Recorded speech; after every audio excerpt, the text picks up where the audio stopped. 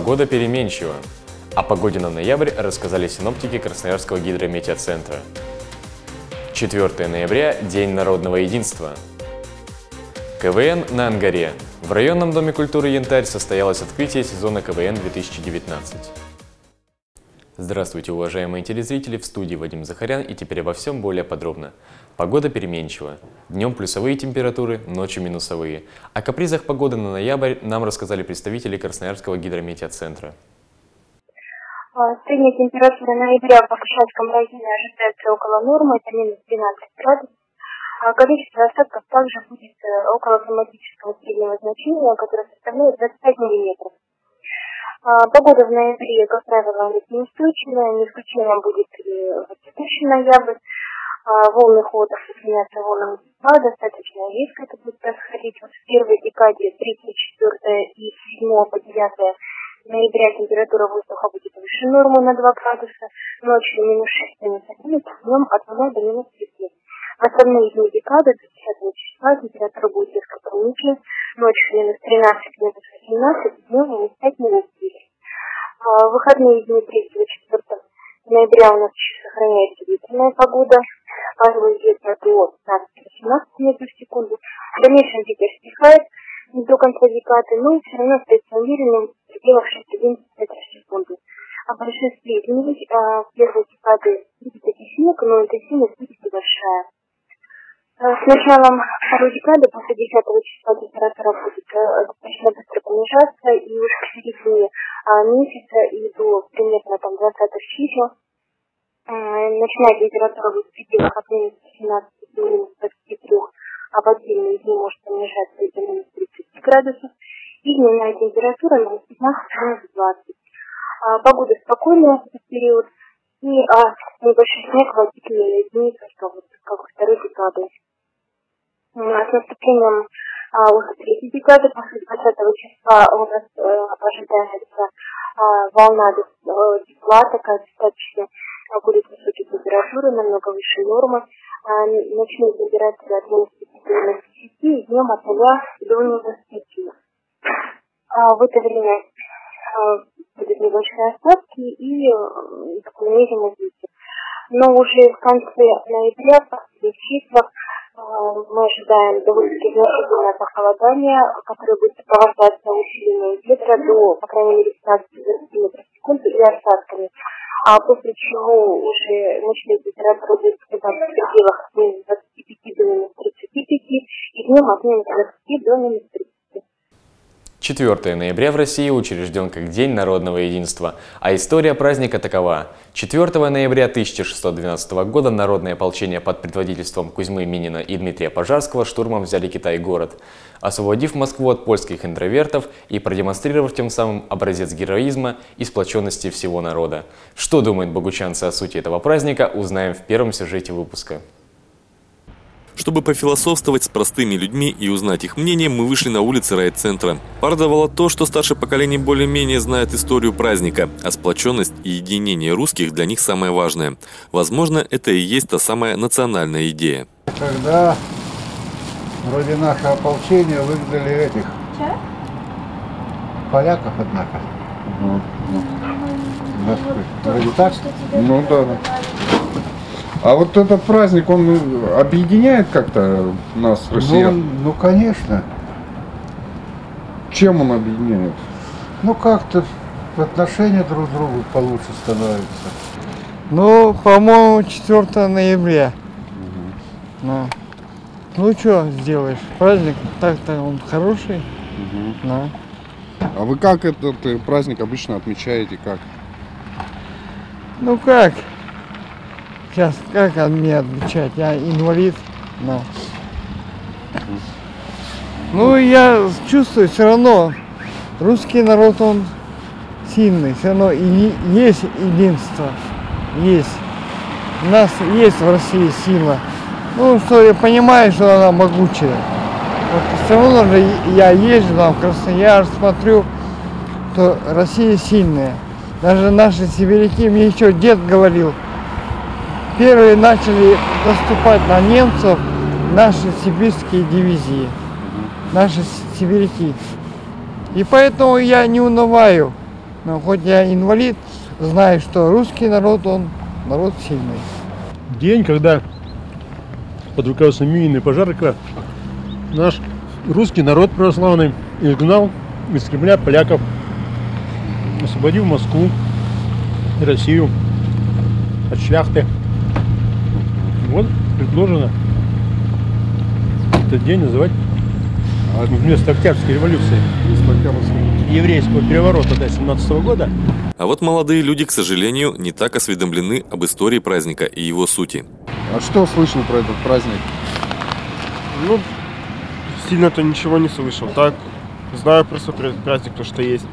Знаете, ж, э, праздник есть такой, День народного единства. Да. Когда отмечается? Э, Так, 26-го? Не, не, 4 ноября, 4 Вот в ноябре будет. Ага. Ну, слышали про такой? А что Да. знаете про праздник вообще? Ну, э, празднует его вся Россия, получается, да? Это так. Ну, я даже не знаю. Видимо, э, какой-то обобщенный праздник такой. Сегодня много говорят и спорят о национальной идее русских. Возможно, единство людей – это и есть цель, к которой нужно стремиться. Ведь мог же наш народ испокон веков изгонять захватчиков и становиться победителем, защищая свою землю. Пример тому – Олимпиада в Сочи. Отношения с Украиной и Америкой тоже демонстрируют, что не привыкли россияне прогибаться, а значит, сегодня мы, и молодые, и старые, должны понимать и верить, что если мы едины, мы непобедимы. В День народного единства в районном доме культуры «Янтарь» пройдет праздничный концерт. На этом концерте выступят лучшие артисты Богучанского района. Руководство района поздравит всех с праздником, кто придет на концерт. По традиции 4 ноября мы отмечаем День народного единства. А В Богучанах у нас в райцентре пройдет э, праздничный концерт э, с награждением социально э, активной части нашего населения. Также мы всех приглашаем принять участие в сибирском хороводе, э, угоститься блинами, чаем, э, поучаствовать э, в нашем интерактиве, который мы тоже готовим для э, детей их родителей. Поэтому ждем вас 4 числа в районном доме культуры «Янтарь» в 2 часа на праздничный концерт, посвященный Дню народного единства. Выпал снег, значит пришло время тепло одеваться. Самое время, чтобы купить новую шубу. Сюжет на правах рекламы. Этой осенью меховая компания «Белка» радует наших прекрасных дам изысканными шубками. Если раньше модельеры украшали шубы стразами и каменьями, то сейчас в моду входит поперечный крой. Полоски меха могут быть как широкими, так и узкими. Тонкими меховыми полосками модельеры искусно прорисовывают узоры на спинке или рукавах изделий. Одна из модных фишек – крой елочка. Серые, бежевые, голубые и глубокие синие оттенки потеснили темно-коричневую классику. Основная тенденция будущего сезона, за которую борются производители, это доступность шубок для всех женщин. Отсюда снижение цен на изделия из отечественного меха, а также лояльная расчетная политика. Для наших покупателей существует рассрочка до двух лет на выгодных условиях, без переплаты первого взноса, а также наличный и безналичный расчет. Выставка продажа вятские меха российской компании «Белка» снова в Богучанах. Большой выбор норковых, мутоновых, каракулевых шуб. Для тех, кому не терпится приобрести обновку, выгодные условия рассрочки. Кроме того, все покупатели становятся участниками розыгрыша автомобиля Volkswagen Polo, который состоится 12 января 2019 года. Выставка работает 3 ноября в районном доме культуры «Янтарь» по улице Ленина, 119. Сегодня в Богучанском краеведческом музее всем желающим предоставилась возможность написать большой этнографический диктант. Цель акции – привлечь внимание к этнографии как науке, занимающей важное место в гармонизации межэтнических отношений. А результат диктанта позволит оценить уровень этнографической грамотности населения, его знаниях о народах, проживающих в России. Задания диктанта состоят из 30 вопросов. 20 вопросов общих для всех и 10 региональных, уникальных для каждого субъекта. На написание диктанта участникам дано 45 минут. Для тех, кто по каким-либо причинам не может проверить свои знания на региональных площадках, на сайте большого этнографического диктанта www.mirenta.ru организовано онлайн-тестирование. Восемь команд из Богучанского района представили на суд жюри свои шутки на открытие сезона КВН на Ангаре.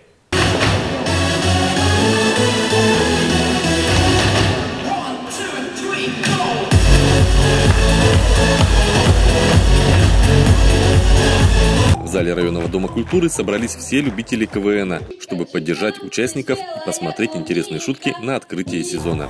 На фестивале нужно было показать одно выступление «Приветствие». Задача жюри – отобрать команды, которые будут участвовать в сезоне КВН на Ангаре 2019. Первым участникам всегда сложнее остальных выходить на сцену. На открытии выступить первыми представилась возможность команде «Соль» из поселка Манди.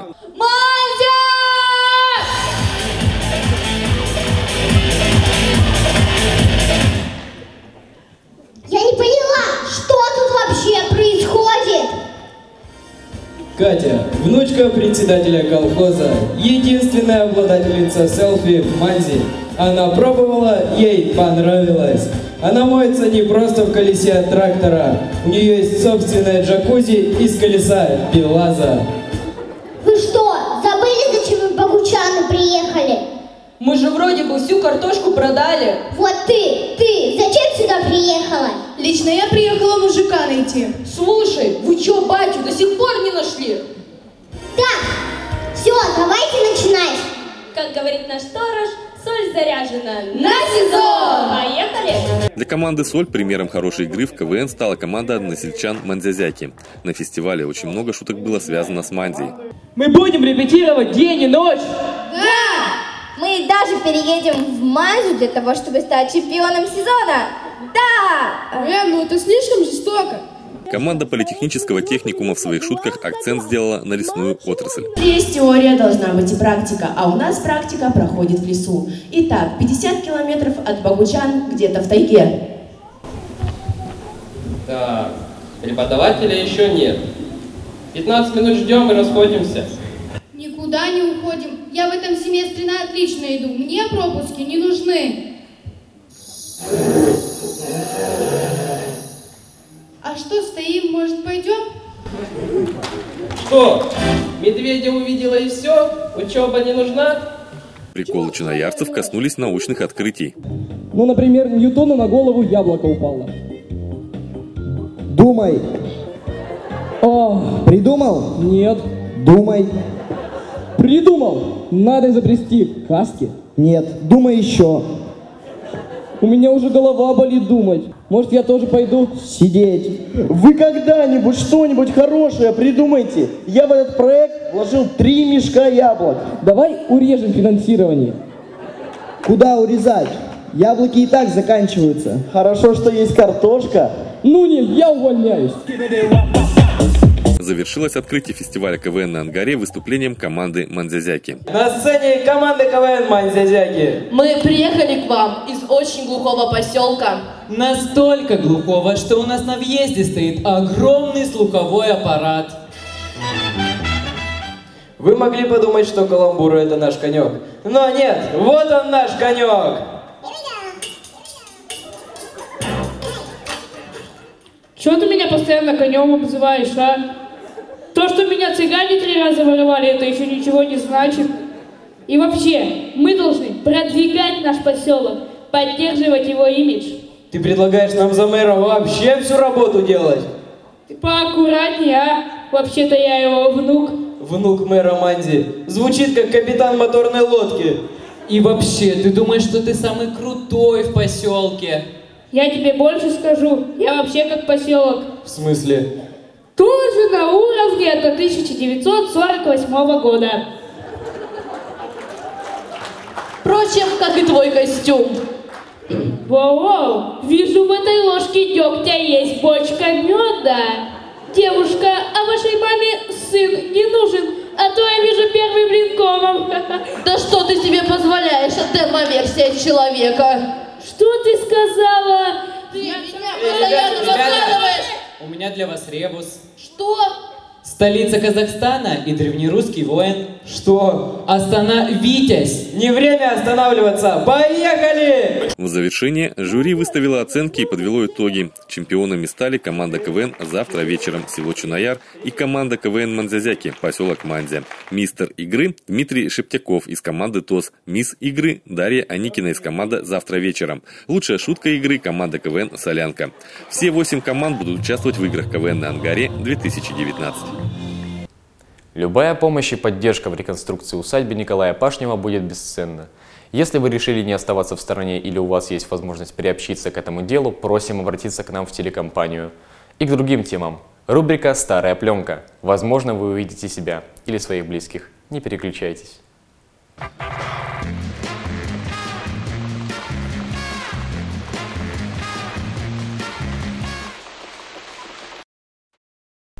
В минувшую субботу на футбольном поле встретились добрые старые друзья, члены команды некогда знаменитого клуба «Ангара», одиннадцатикратного победителя краевых чемпионатов по футболу. И хотя погода в этот день была явно не для футбольного матча, парни убедительно доказали, что для настоящего футболиста любая погода нипочем. На этот ностальгический матч прибыли футболисты отовсюду. Пять бывших игроков знаменитой команды прибыли из Красноярска. И пока на очищенном от снега поле футболисты выбежали на разминку, мы задали несколько вопросов футболистам. Как вы считаете, зрители вас еще помнят, э, футбольные болельщики? Ну, я думаю, что помнят. Все-таки ну, не, команда была очень хорошая. Как говорится, умерла непобежденная. Это не от команды было зависимо, это э, от финансов просто везде были деньги. И рекорд команды до сих пор, кстати, не побит в крае. Что команда была 13-разовым чемпионом края. Какое у вас настроение на сегодняшнюю игру? Ну, настроение праздничное. Я увидел старых друзей. Вот. Конечно, очень приятно. И все-таки 18 лет, проведенных здесь, ностальгия, конечно, мучает. Приятно. Как считаете, вот сегодняшняя погода не отразится на игре? Нет, конечно. Какие, какая погода, вы что? И по сколько минут у вас будут сегодня таймы? Ну, я думаю, что минут по 30 нам уж, ну, как-то хватит уж, поиграли в свое время. Как вы себя чувствуете? Спортивную форму его не потеряли? Нет, ну, я думаю, что большинство из нас, конечно, нет, не потеряло. Все-таки играем там, и в, в городе играем, все, все в командах также играем. Думаю, игры не портим. Гайнул Касимов в команде играл со дня ее основания. Рекорд по количеству забитых мячей в, одной, в одних соревнованиях, безусловно, принадлежит ему. В 1979 году в Кубке Победы, который проходил в Курагино, из 49 мячей, забитых командой Ангара, 25 голов забил именно этот неутомимый форвард. Гро. Сегодня у нас мы отмечаем 20 лет созданию команды Ангары. Давненько, правда, мы уже не выступали, но тем не менее решили все-таки отметить событие для нас очень важное. Почему выбрала именно вот такая не очень футбольная погода и время года? Ну, по погоде мы... Ну, я считаю, зима нормальное время. Просто нам сегодня, может быть, немножко не повезло с погодой. После традиционного фото на память команды поприветствовали друг друга. Команде молодежи наш! Привет! В эту сторону. наш! Привет! Глава района Геннадий Васильевич Локутов поздравил футболистов с ярким событием, юбилеем знаменитой команды. Ему же было предоставлено право сделать символический удар по мячу. Итак, мяч в игре. Матч начался. Футболисты не замечали ни снега, который шел в избытке в тот день, ни ветра. Капитаном команды в синей форме был Гайнул Касимов, в красной форме Виктор Шахматов. Они забили по мячу. Встреча была результативной и закончилась со счетом 6-4. Победу одержала команда футболистов в синей форме. Голы забили Владимир Баженов, Артем Демирджи, Иван Двалятик, Сергей Перов и Дмитрий Рукосуев. У команды красных отличились Сергей Рукосуев, Александр Багмет, Сергей Демирджи сын. В этой игре важен был не результат, а комбинационная красивая игра в пас и каскад голов на любой вкус. В командах играли хорошие друзья, которым было что вспомнить за время своей спортивной карьеры. Бессменный тренер команды Сергей Этемович Демирджи находился в этот день на трибуне. Он начинал работать с командой с нуля достигли высокой работой в тренировках, преданностью ребят и любви к футболу. Вот, потому что так, когда мы стали первый раз чемпионом, это в 80-м году, два года мы занимали, первый год мы девятый, потом второе, и так вот росли. Многие ставили перед собой, ломали, так сказать, голову специалисты, как так, в деревне, и сразу, ну, раз такое дело, значит, мы чтобы случайно не оказалось для многих специалистов, особенно Красноярска. Значит, мы прибавили в объеме работы. Вот. Ребята заставили себя, ребята были, конечно, молодые, прекрасные годы, больше работать, тем более специально, как говорится, настраивали себя на такие команды, которые приезжали с города. Но в результате того, что мы больше стали работать, больше серьезнее стали относиться к тренировкам сами ребята, вот, мы стали удачно выступать стабильно. Вот. А стабильное выступление это прежде всего, я так считаю, что это наше взаимное отношение друг к другу, доверие тренера и другой стороны, ребят, и работа. Вот это нам помогло стабильно выступать на режиме многих лет, улучшая игра, игры, игру от игры к игре, повышая свое спортивное мастерство. Но тогда, когда уже произошла смена, смена всегда проходит болезненно для тех, которые играют, приходится по разным причинам уходить. Но в основном там, я как тренер старался давать им возможность играть как можно больше всем, потому что я знаю, что такое прощание с футболом.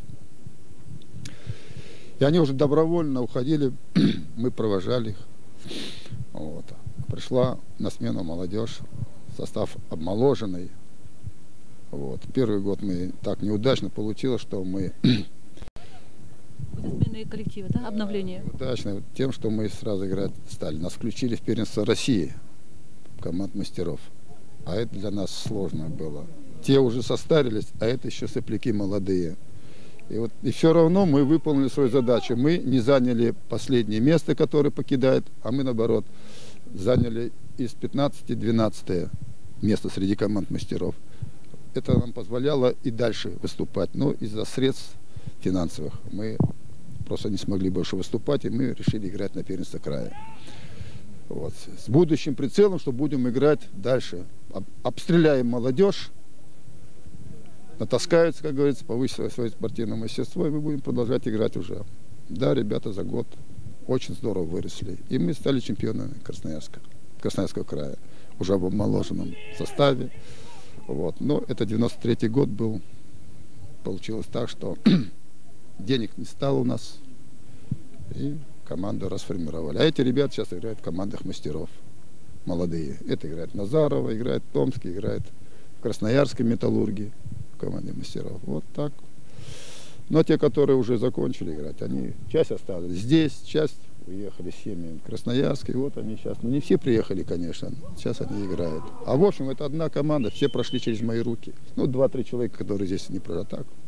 Все то же самое. Сегодняшняя игра посвящена юбилею основания клуба «Ангара». И вот вы наблюдаете сегодня игру. Какие чувства вас, вот, вас охватывают? Я вот с другом со своим делюсь, что меня радует то, что они научились играть в футбол. Ну, сейчас, конечно, много не получается с возрастом, но то, что они видят поле, играют в пас, это меня просто радует. Я спокойно смотрю, отношусь к этому. А чувства, годы молодые у них ушли, но они оставили большую о себе память. Память, авторитет, признание. Благодаря вот этим ребятам, которые здесь, вот, э, район стал спортивный. Потому что за футболом потянулись другие виды спорта. Мы тогда, когда еще был жив первый стариком партии Сеня Клинт Яковлевич, память ему большая, царство небесное. Я ему говорил, подтянутся другие виды спорта. Так оно и было. Подтянулся женский волейбол, мужской, легкая атлетика. И район стал спортивным. Просто спортивным, на, как говорится, на удивление многих других районов в крае. Вот. Ну и до сих пор вроде потихоньку-потихоньку еще не ганет. Хотя надо уже поднимать все заново, потому что молодежь должна расти. Надо открывать школу. Вот. Ну, это связано со средствами чтобы молодежь, мальчишки не, не, не болтались на улице, девчонки заниматься гимнастикой. То есть средства нужно и внимание, желание большое. Специалисты нужны, конечно. Ну, сегодня собрались здесь все на футболе, классно. Редко только что они так проводят. Так ничего, ну погода так плохая. Нравится футбол? Нравится. На трибунах в этот день было немного поклонников футбола, но истинных ценителей ничто не могло удержать. Расскажите, как давно вы являетесь болельщиком команды «Ангара»? 9 лет я здесь живу и болею за команду «Ангара». Вам сегодняшний матч нравится? Ну, из-за погодных условий что-то и не нравится, что-то и нравится. Но ребята играют нормально. Что бы хотелось пожелать футбольному клубу? Ну, футбольному клубу, конечно, чтобы собирались и возродилась команда «Ангара», чтобы было есть людям, чтобы было посмотреть на что-то. После матча мы встретились с начальником района спортивного комитета Геннадием Игнатьевичем Максимовым. Именно благодаря ему, его энергии и настойчивости и преданности спорту состоялась эта встреча. Еще в ноябре месяце э, Гайнул Касимов проявил такую инициативу или подсказал, что хорошо бы провести юбилейный, юбилейный праздник, футбольный матч и праздник, чтобы собрались футболисты всех поколений – и вот 12 декабря в субботу, два часа на стадионе Ангара э, собрались э, футболисты. Правда, приехал из города всего пять человек. И они решили по жеребьевке разделиться на первый и второй. И создали две команды. Первая команда синяя, капитан команды Гайнуй Класимов. Вторая команда в красной форме, капитан команды Виктор Шахматов. И, честно говоря, от этой игры э, зависел не важен был не результат, а то, что э, парни показали красивую, хорошую, содержательную игру. Организаторы юбилейного матча выражают огромную признательность главам района и сельской администрации за поддержку, любителям спорта и спонсорам, которые оказали помощь при проведении этого незабываемого футбольного праздника. Вечером была неофициальная часть, прекрасно организованный вечер отдыха работниками Дома молодежи для футболистов прославленной команды «Ангара».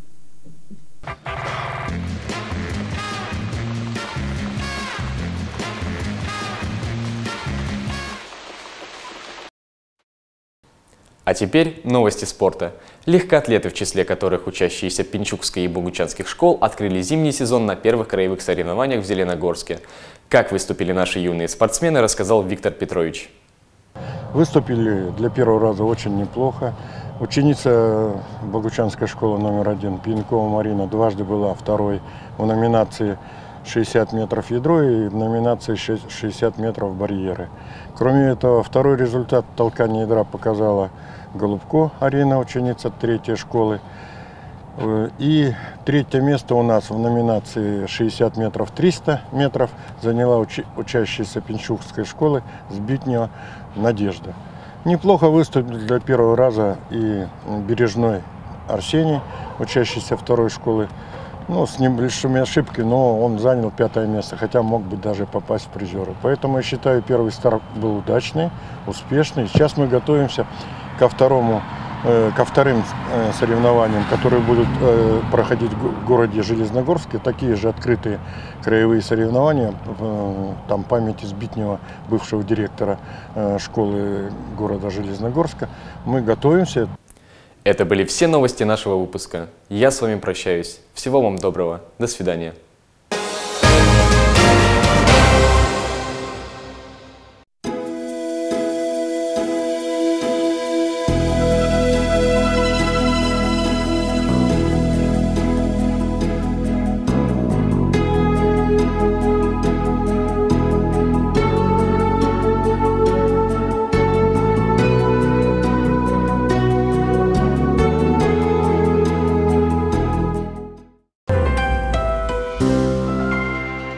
Пассажирские перевозки на заказ.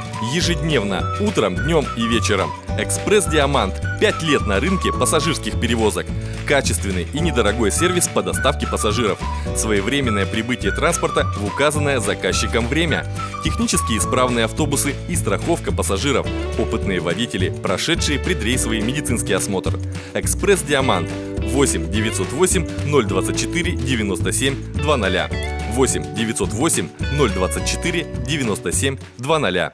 Красота притягивает взгляды и подарки. Купите красивую шубу и выиграйте новый немецкий автомобиль. Белковятские меха. 3 ноября в РДК «Янтарь». Зоопрепараты в первой единственной круглосуточной аптеке «Юнига». Все для лечения ваших домашних животных в наличии и под заказ. Действует накопительная система скидок. Пенсионерам скидка 5% всегда. В ассортименте различные зоопрепараты по содержанию и уходу за любимым питомцем. Специальные средства по уходу за ушами и глазами, капли для регуляции половой охоты, кормовые минерально-витаминные добавки. Чтобы вашего питомца не беспокоили блохи и клещи, в аптеке Юнига можно приобрести различные защитные средства. Все товары отличаются высоким качеством и безопасностью. А значит, вы можете быть спокойны за здоровье любимого питомца. Наш адрес – Перенсона 19, дробь 1. Номер телефона 22 761. Компания «Рулевой» предлагает ежедневные рейсы из Богучан и Красноярска на комфортабельных микроавтобусах. Водители очень опытные, вежливые и аккуратные. Рейсы ежедневно в 9.30, в 14 часов и 18.30. Также бывают дополнительные ночные рейсы. Для именинников у нас скидки в течение месяца на рейсы из Красноярска. В апреле у меня день рождения, поэтому с компанией «Рулевой» весь месяц я ездил со скидкой. В компании «Рулевой» страхование жизни каждого пассажира. Я доверяю компании «Рулевой».